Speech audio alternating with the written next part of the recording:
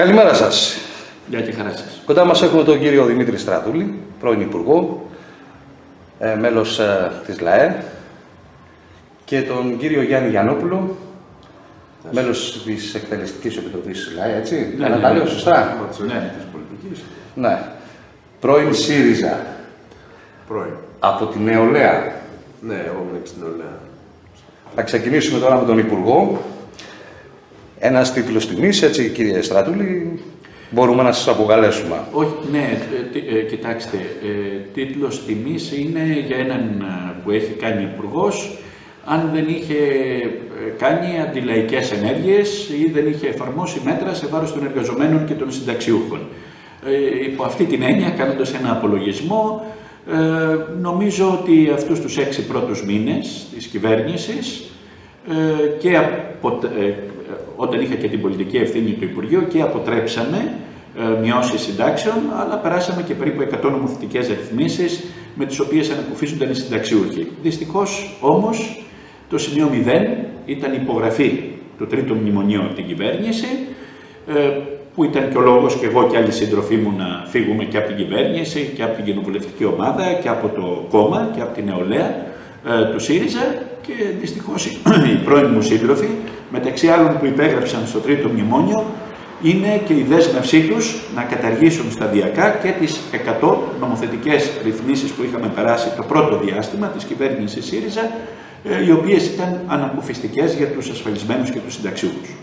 Μου δώσατε πάρα πολύ ωραία πάσα, μάλλον σας έδωσα μια Και ήδη πάσα έχουν εσείς. καταργήσει τις 14 από αυτές και έχουν χειροτερεύσει ε, μία, μία από αυτές. Αυτή που χειροτέρευσαν ήταν η ρύθμιση για τις 100 δόσεις ε, όσων οφείλαν στα ασφαλιστικά ταμεία που έβαλαν επιτόκιο στους μικροφιλέτες, αυτούς που χρωστάνε μέχρι 5.000 ευρώ, έβαλαν επιτόκιο 5,1% ε, και δυσκόλεψαν ε, γενικά την δυνατότητά τους να ανταποκριθούν στη ρύθμιση των 100 δόσεων που είχαν κάνει έναντι των ασφαλιστικών ταμείων. Αυτό είναι χτύπημα και για τα ασφαλιστικά ταμεία, που έτσι μειώνονται τα έσοδά τους, αλλά είναι χτύπημα και κυρίως για αυτοπασχολούμενους και μικρομεσαίες επιχειρήσεις που τους είχε δυνα- δοθεί η δυνατότητα να πάρουν ασφαλιστική ενημερότητα και να ξαναξεκινήσουν ε, την επιχείρησή τους ή την αυτοπασχόλησή τους.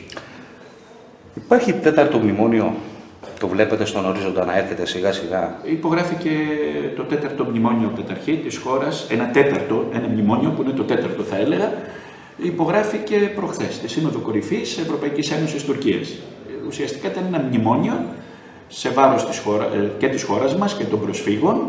Ήταν ένα μνημόνιο με το οποίο επικυρώθηκε η στεγανοποίηση των σύνορων της χώρας μας και τα κλειστά σύνορα στους πρόσφυγες σε όλη την ε, Ευρώπη.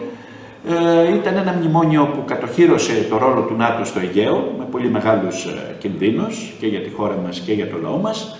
Ήταν ένα μνημόνιο που υπέγραψε δυστυχώς η κυβέρνηση ΣΥΡΙΖΑ ΑΝΕΛ με το οποίο καταπατήθηκε και αναιρέθηκε και ακυρώθηκε κάθε δικαίωμα των προσφύγων το οποίο απορρέει από διεθνείς συμβάσεις ε, για τους πρόσφυγες και κυρίως από τη Διεθνή Σύμβαση της ε, Γενέβης. Ήταν, ένα, ήταν και είναι ένα επέσχυντο και κατάπτυστο μνημόνιο. Δυστυχώς, από ό,τι φαίνεται, ακολουθεί και πέμπτο μνημόνιο, ε, όταν ξεκινήσει η συζήτηση για το δημόσιο χρέος της χώρας. Ε, σήμερα το πρωί στο Καστελόριζο, από την μεριά της Τουρκίας, μιλάμε για έναν χώρο, κύριε Γιάννοπουλε, γελάτε. Ήμουν φαντάρος εκεί. Ναι, ε, α, άμα είστε φαντάρος, ξέρετε ότι ούτε δύο μίλια δεν είναι η Τουρκία. Με τις νατοικές δυνάμεις οι οποίες είναι και ελέγχουν τον χώρο, βγήκαν από την μεριά της Τουρκίας 20 μετανάστες, πρόσφυγες, όπως θέλουμε να τους πούμε, ε, και δυστυχώς είχαμε και δύο νεαρά κορίτσια νεκρά.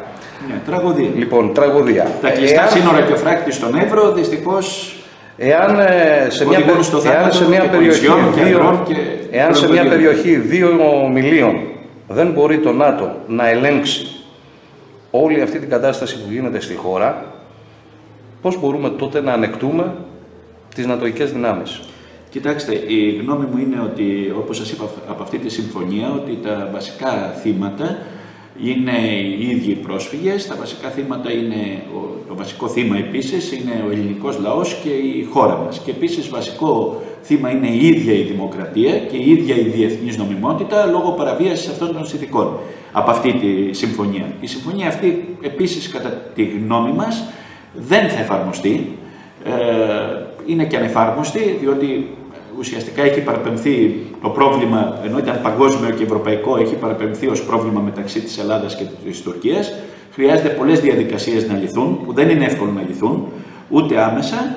Ε, και πιστεύω ότι είναι πάρα πολύ μεγάλο πρόβλημα, όπως σας είπα, πάρα πολύ μεγάλο πρόβλημα και για τη χώρα μας και για το λαό μας και για την Ευρώπη και για όλο τον κόσμο αυτό, αυτό το οποίο συνέβη ε, με το περιεχόμενο της ε, συμφωνίας που υπογράφηκε στη Σύνοδο Κορυφής Ευρωπαϊκής Ένωσης Τουρκίας.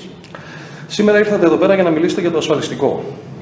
Υπάρχει κάποια τρίπλα; Κοιτάξτε, όχι τρίπλα δεν υπάρχει για το ασφαλιστικό. Αυτό, προφανώς το λέτε γιατί είπε ο κύριος Κατρούγκαλος ότι υπάρχει πρόοδος. Κοιτάξτε να δείτε. Ε, ο κύριος Κατρούγκαλος δεν μπορεί να λέει ότι είναι πρόοδος της διαπραγματεύσης όταν τις τελευταίες δύο μέρες έχει κάνει και νέες υποχωρήσεις. Τρεις τουλάχιστον σημαντικές. Η μία υποχώρησή του είναι ότι το, εθνική σύνταξη, η εθνική σύνταξη σε αυτούς που έχουν προϋποθέσεις κατώτερη σύνταξη, δηλαδή 15 χρόνια δουλειάς και 4.500 ένσημα, δεν θα είναι 384 ευρώ, θα είναι 320 ή 288 ευρώ. Και το 384 που θα είναι το μόνο κομμάτι της σύνταξης εγγυημένα από το κράτος θα το παίρνουν όσοι έχουν 6.000 ένσημα και 20 χρόνια στη δουλειά η δεύτερη υποχώρησή του είναι μειώσεις και στις καταβαλλόμενες κύριες συντάξεις και στην αλλαγή των ποσοστών αναπλήρωσης. Και η τρίτη υποχώρησή του είναι για πολύ μεγάλες μειώσεις στις επικουρικές συντάξεις, σε σχέση λέω, με αυτά που έλεγε το έτσι κι αλλιώς αντιασφαλιστικό νομοσχέδιό του, με μειώσεις στις καταβαλλόμενες τώρα στους συνταξιούχους επικουρικές συντάξεις από 2 έως και 30%. Αν αυτό το θεωρεί πρόοδο ο κύριος Κατρούγκαλος, τι να πω. Αυτό είναι πρόοδος για τους δανειστές σε σχέση με αυτά τα οποία απαιτούσαν για τις συντάξεις από την κυβέρνηση. Για το λαό, τους συνταξιούχους και τους ασφαλισμένους είναι νέα λαϊλασία των συντάξεών, του, των συντάξεών τους. Και όσο αφορά και το ζήτημα το ασφαλιστικό, αλλά και το ζήτημα της μείωσης του αφορολόγητου για μισθωτούς και συνταξιούχους, που σημαίνει νέα βάρη σε αυτούς, και το ζήτημα της δημιουργίας του υπερταμείου για το ξεπούλημα της δημόσιας περιουσίας που θα έχει ε, και ξένο δανειστή, εκπρόσωπο, ξένο εκπρόσωπο των δανειστών ως πρόεδρο και στο μέτωπο ε, της, ε, το, της εκχώρησης των κόκκινων στεγαστικών δανείων σε κερδοσκοπικά συμφέροντα, η κυβέρνηση μέρα τη μέρα, ώρα την ώρα, συνάντηση τη συνάντηση που κάνει με το κουαρτέτο των δανειστών, κάνει συνεχώς πίσω. Με αποτέλεσμα ε, οι κόκκινες λεγόμενες γραμμές άμυνας της κυβέρνησης σε αυτά τα θέματα να έχουν μετατραπεί κυριολεκτικά σε ροζ μεταξωτές κορδέλες. Ε, η κυβέρνηση νομίζω με αυτή την ενδοτική της στάση απέναντι στους ε, δανειστές και σε βάρος του λαού μας και της νεολαίας μας είναι σαν να σπέρνει ε, αντιλαϊκούς, αντικοινωνικούς μνημονιακούς ανέμους είναι σίγουρο ότι θα εισπράξει πολύ μεγάλες κοινωνικές αντιστάσεις, κοινωνικές θύελες και ότι, το, ότι θα κινδυνεύσει και η ίδια η ύπαρξή της ως κυβέρνηση που εφαρμόζει αυτές τις αντιλαϊκές μνημονιακές πολιτικές. Υπάρχει εθνική προδοσία. Κοιτάξτε δείτε, αυτό που υπάρχει είναι ότι έγινε ένα, ότι έγινε ένα δημοψήφισμα ε, το οποίο έβγαλε ένα περήφανο όχι του ελληνικού λαού από την κυβέρνηση ΣΥΡΙΖΑ ΑΝΕΛ έχει μετατραπεί σε ένα ταπεινωτικό ναι. Αυτό που υπάρχει επίσης είναι ότι με την υπογραφή του μνημονίου ακυρώθηκαν όλες οι δεσμεύσεις και το πρόγραμμα ε, με το οποίο κέρδισε τις εκλογές ο ΣΥΡΙΖΑ ε, στις 25 Ιανουαρίου ε, το 2015. Αυτό υπάρχει αυτή τη στιγμή. Ε, μπορείς να το αποκαλέσεις και προδοσία, όπως λέτε, σε σχέση με αυτά που ε, δεσμεύτηκαν, που είχε δεσμευτεί η πρώτη κυβέρνηση του ΣΥΡΙΖΑ, ο ΣΥΡΙΖΑ, εκείνη την περίοδο. Ε, η ουσία όμως είναι ότι πλέον έχει, εγώ θα το έλεγα, περισσότερο μετάλλαξη του ΣΥΡΙΖΑ από ένα αντιμνημονιακό αριστερό κόμμα σε ένα μνημονιακό κόμμα που εφαρμόζει μάλιστα νεοφιλελεύθερες και αντιλαϊκές ε, πολιτικές. Ε, ωστόσο γνωρίζετε ότι αυτή η μετάλλαξη, η μνημονιακή μετάλλαξη του ΣΥΡΙΖΑ, προδοσία, υποχώρηση, συνθηκολόγηση όπως θέλετε μπορούμε να το πούμε, δεν ακολούθησε όλος ο ΣΥΡΙΖΑ, γνωρίζετε ότι και έξι υπουργοί δεν υπέγραψαν το μνημόνιο και δεν το ψήφισαν. Γνωρίζετε ότι 45 βουλευτές με τον έναν ή τον άλλο τρόπο, με κατά ή παρόν, δεν το ψήφισαν το τρίτο μνημόνιο. Και κυρίως γνωρίζετε ότι χιλιάδες μέλη, στελέχη και φίλοι του ΣΥΡΙΖΑ σε όλη την Ελλάδα αποχώρησαν από αυτόν ε, και συνεχίζουν να δίνουν τον αγώνα για τις αρχές, τις αξίες τους, τα προγράμματά τους και κυρίως για όσα είχαμε δεσμευτεί στον ελληνικό λαό πριν τις 25 Γενάρη του 2015. Και μπορεί ε, το εγχείρημά μας αυτό να μην ευωδόθηκε στις εκλογές, να μην μπήκαμε στη Βουλή, να είμαστε απόντες. Είμαστε σίγουροι όμως ότι, ε, ότι το εγχείρημα αυτό θα πάει καλά, με την έννοια ότι είμαστε απόντες αυτή τη στιγμή από τη Βουλή, Σίγουρα δεν είναι καλό πράγμα, γιατί λείπει από το κεντρικό πολιτικό σκηνικό μια γνήσια αντιμνημονιακή φωνή. Είμαστε όμως παρόντες η λαϊκή ενότητα στους αγώνες του λαού μας. Είμαστε στην πρώτη γραμμή στους αγώνες του λαού μας να μην περάσουν οι εφαρμοστικοί νόμοι ε, του μνημονίου. Και εφόσον καταφέρουμε να πετύχουμε το στόχο μας, καταρχήν με την ιδρυτική μας συνδιάσκεψη ε, στα τέλη Μαΐου, να κάνουμε μια προγραμματική, πολιτική και οργανωτική ανασυγκρότηση με συμμετοχή και αυτενέργεια και των μελών μας με δημοκρατία και με εξωστρέφεια και εφόσον μπορέσουμε να συγκροτήσουμε και ένα πλατή μέτωπο δημοκρατικό, αντιμνημονιακό, ε, προοδευτικό, ε, νομίζουμε ότι μπορούμε να τα καταφέρουμε γιατί ένα τέτοιο μέτωπο με ένα πρόγραμμα αντιμνημονιακό, αναπτυξιακό, ε, μπορεί να δώσει ελπίδα στο λαό και στην νεολαία ότι υπάρχει εναλλακτική λύση στο μνημόνιο, υπάρχει ελπίδα για το λαό, για τη χώρα, για την νεολαία και ότι αξίζει να αγωνιστούν γι' αυτό. Και Στρατούλη, θεωρείστε ένας πολιτικός ανέργο, ο οποίος ε, έχετε μια ε, εξυπνάδα, μια ευφυΐα. Ε, θέλω να σας πω κάτι. Αν σταματήσω ένα ταξί, μέχρι πού μπορώ να πάω; Ναι, μην γελάτε, μου το απάντησε και ο Παναγιώτης αυτό. Μέχρι πού μπορώ να πάω; Κοιτάξτε, το ζήτημα είναι να είσαι αποφασισμένος να μπεις στο ταξί και δεύτερον να ξέρεις που θες να πας. Να ξέρεις που θες να πας. Εμείς ε, λοιπόν αν μπούμε στο ταξί ξέρουμε που θέλουμε να πάμε. Θέλουμε να πάμε σε ένα, στην κατάργηση των μνημονίων, στη διαγραφή του δημόσιου χρέους, στην εθνικοποίηση των τραπεζών, στην υπεράσπιση των δημόσιων επιχειρήσεων και του δημόσιου τομέα ε, στην, ε, και επίσης ε, σε ένα αναπτυξιακό πρόγραμμα παραγωγικής ανασυγκρότησης της χώρας με κύριο βάρος να αναπτυχθεί η αγροτική οικονομία και η βιομηχανία με τρόπο φιλικό βεβαίως στο περιβάλλον και με τρόπο που θα δημιουργούν θέσεις εργασίας και θα σέβονται τις εργασιακές σχέσεις, ανάπτυξη δηλαδή προς όφελος ε, του λαού. Και ξέρουμε επίσης ότι για να το κάνουμε αυτό το ταξί πρέπει να φτάσει μέχρι τέλου. Δηλαδή στη σύγκρουση με την Ευρωζώνη, στην έκδοση εθνικού νομίσματος, το οποίο από μόνο του δεν φτάνει, αλλά μαζί με ένα τέτοιο αναπτυξιακό, αντιμνημονιακό, προοδευτικό πρόγραμμα μπορεί να ανοίξει άλλους δρόμους εναλλακτικούς και ελπιδοφόρους για το λαό και την νεολαία.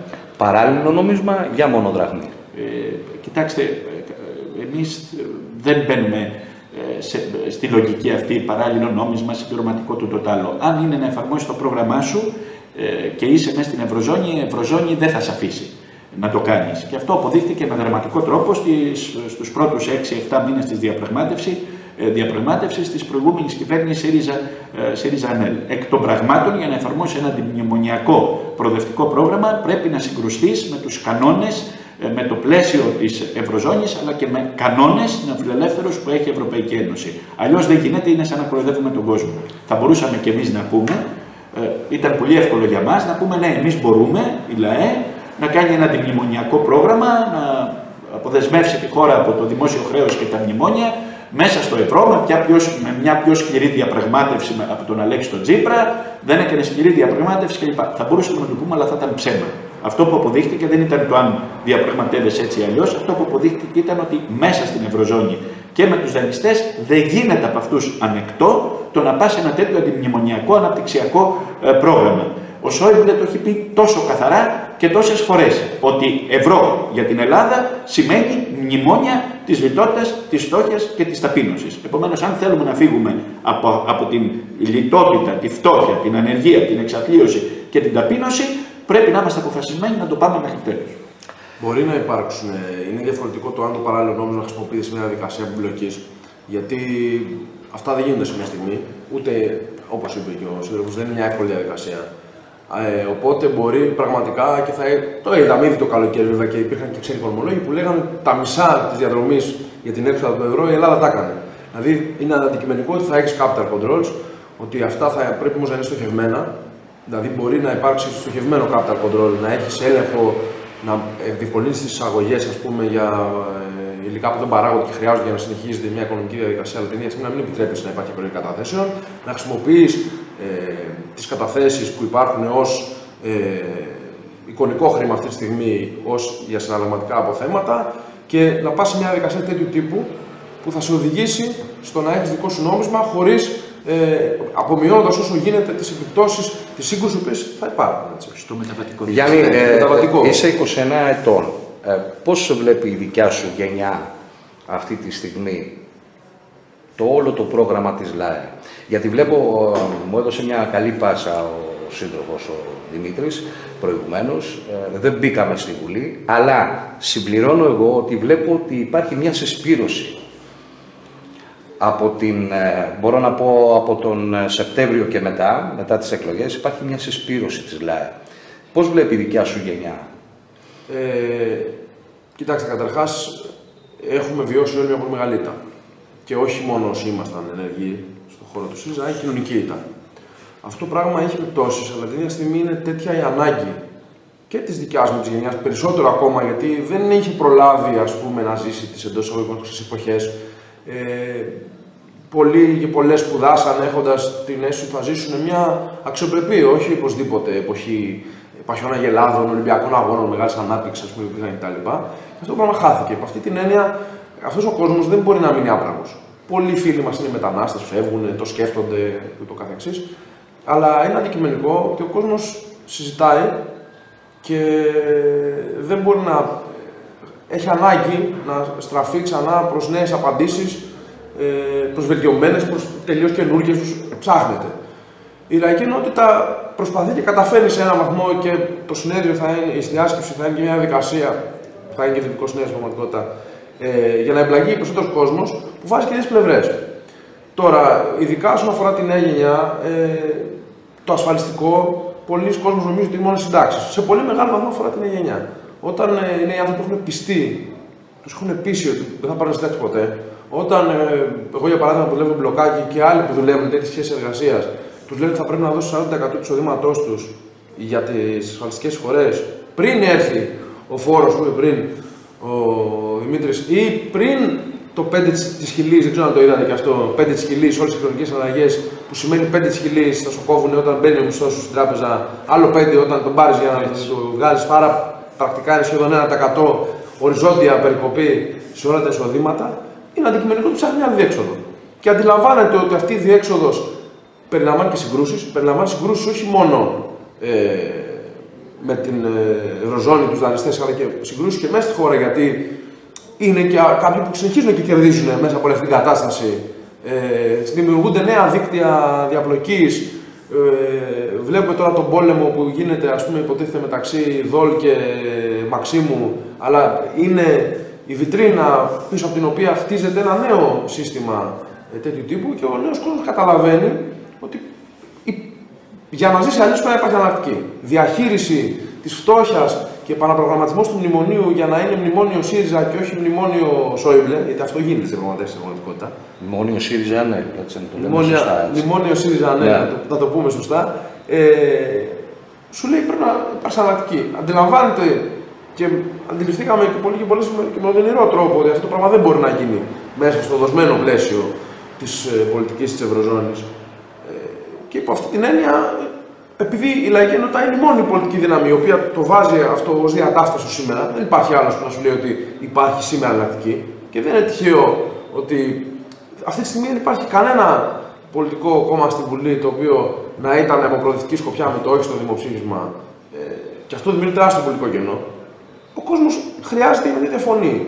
Δικό, δικό μας καθήκον είναι αυτή τη φωνή να την κάνουμε και πιο νεανική, να, να βάλουμε και μια σειρά πραγμάτων ε, στο τραπέζι τα οποία ε, δεν, μπορούν, δεν, δεν πέφτουν από, από μεγάλες ιδέες μόνο. Πρέπει να εμπλακεί ο ίδιος ο κόσμος. Πρέπει αυτοί οι άνθρωποι που ζουν από τη δουλειά τους να τα βάλουν στο τραπέζι. Εμείς δεν λέμε ότι έχουμε την απάντηση για όλα. Το είπε πριν ο Δημήτρης, δεν έχουμε εύκολες απαντήσεις για όλα. Έχουμε βασικές αρχές, έχουμε, είπε πριν, τη διαγραφή ε, μεγαλύτερο μέρος του χρέους ή πρακτικά θα δικήσουμε να διαγράψουμε όλο το χρέος σε πρώτη φάση, την εθνικοποίηση των τραπεζών, το ότι πρέπει να, να, να πάμε σε ένα άλλο μοντέλο εργασιακών σχέσεων, να έχουμε εργασιακές σχέσεις, αλλά από εκεί και πέρα, εάν αυτοί και αυτές που ζουν από τη δουλειά τους δεν εμπλακούν σε αυτή τη διαδικασία, αν δηλαδή το ταξί δεν γίνει πούλμαν για να πέσουμε στον τοίχο, δεν πρόκειται να τα καταφέρουμε. Γι' αυτό ο νέο κόσμος το καταλαβαίνει και γι' αυτό το κάλεσμά μας είναι ανοιχτό προς όλους αυτούς και όλες αυτές που θέλουν και από τη νέα γενιά να συμμετέχουν και να συνδιαμορφώσουν και τη λαϊκή ενότητα να μπουν μπροστά σε αυτή τη μάχη.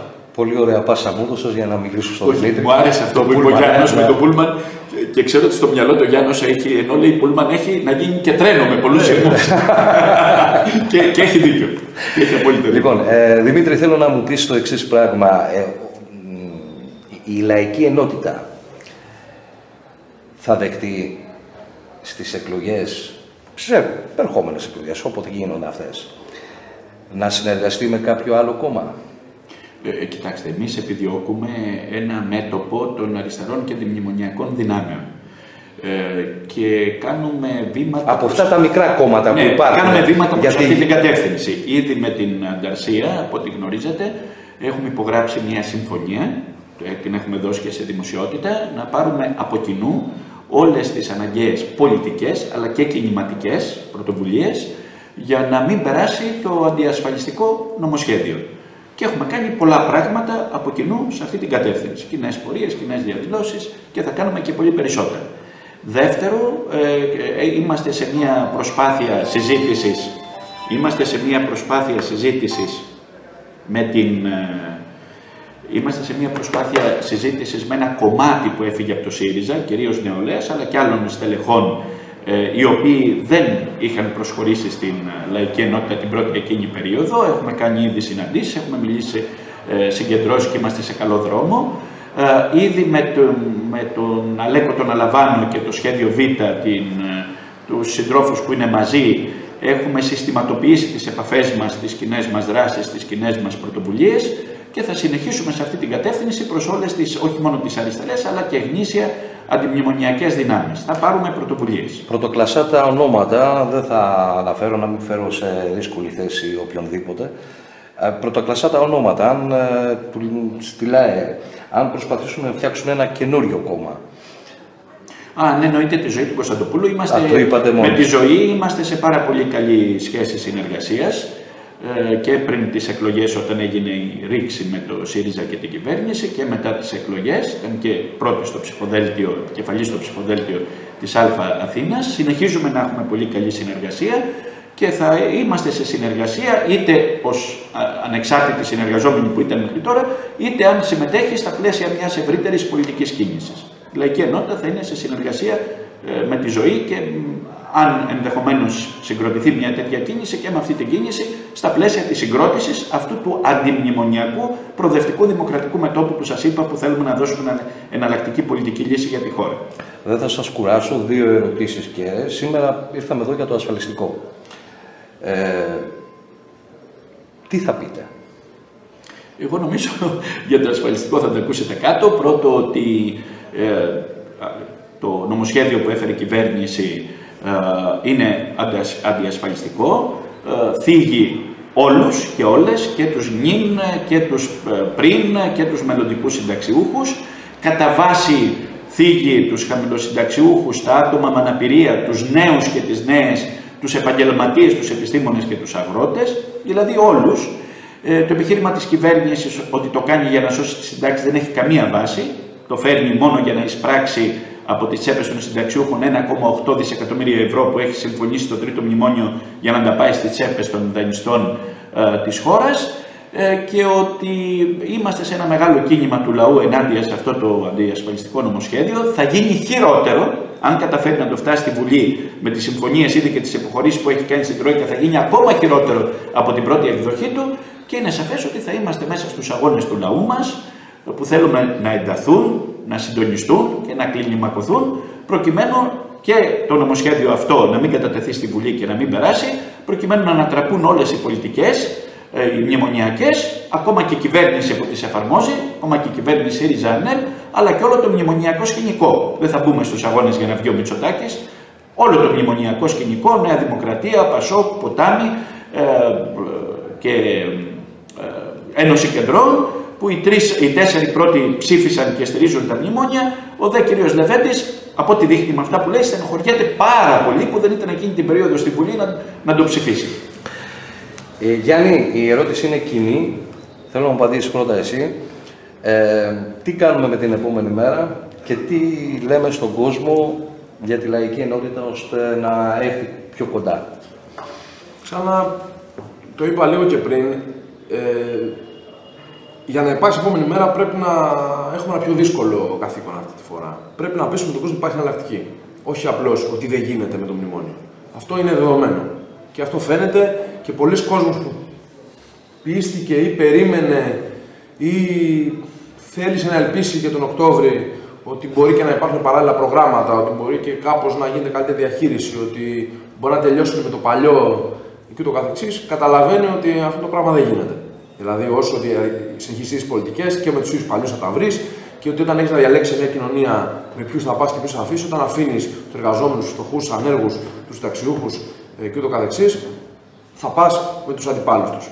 Ε, το ένα λοιπόν που λέμε είναι αυτό. Το δεύτερο είναι ότι ξαναλέω ότι αν δεν κάνουν δική τους υπόθεση, την αλλακτική αυτή, και αν δεν κάνουν δική τους υπόθεση και το να διαμορφωθεί αυτός ο ευρύτερος, το ευρύτερο μέτωπο που είπε και ο Δημήτρης, στο οποίο προστατεί και θέλει να προστατήσει το επόμενο διάστημα η λαϊκή ενότητα, δεν μπορεί να υπάρξει πολιτική απάντηση. Η λύση δεν είναι στον ατομικό δρόμο, δεν υπάρχει δυνατότητα αυτή τη στιγμή οι νέοι και οι νέες να πιστέψουν ότι θα μπορέσουν μόνοι να τα καταφέρουν. Ε, δεν είναι δικό τους το πρόβλημα που δεν μπορούν να καταφέρουν αυτά που κατάφεραν κάπου του γονείς τους. Είναι εδώ καταραίει η παγκόσμια οικονομία και ήδη τρίζει ξανά. Μπορεί να μπαίνουμε και σε νέο κύκλο ύφεσης με αυτά που γίνονται στην Κίνα.